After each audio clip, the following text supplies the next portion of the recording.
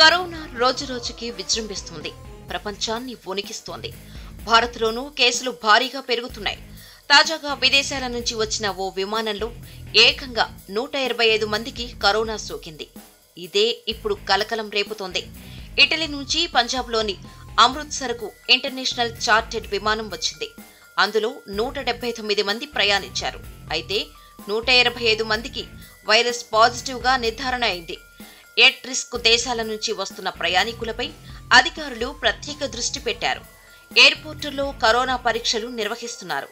Italy నుంచి chartered విమానంలో వచ్చిన వారికి కూడా పరీక్షలు చేశారు. ర్యాపిడ్ టెస్టులో నూట ఇరవై ఐదు మందికి వైరస్ సోకినట్లు నిర్ధారణ అయింది. దీంతో అధికారులు షాక్ అయ్యారు. విమానంలో వచ్చిన వారిలో పంతొమ్మిది మంది చిన్నారులు కూడా ఉన్నారు. ఇటలీ నుంచి వచ్చిన ప్రయాణికులను అధికారులు క్వారంటైన్కు తరలించారు. దీనికోసం అంబులెన్స్లు విమానాశ్రయం ముందు బారులు తీరాల్సి వచ్చింది. కరోనా పాజిటివ్ అని తేలటంతో బాధితులు కూడా ఆందోళన చెందారు. తమకు కరోనా ఎలా వచ్చిందో తెలియదు అన్నారు. విమానాశ్రయం నుంచి బయటకు వెళ్ళనివ్వాలని అధికారులతో కొందరు వాగ్వాదానికి దిగారు. దీంతో ఎయిర్పోర్టులో గందరగోళ వాతావరణం కనిపించింది.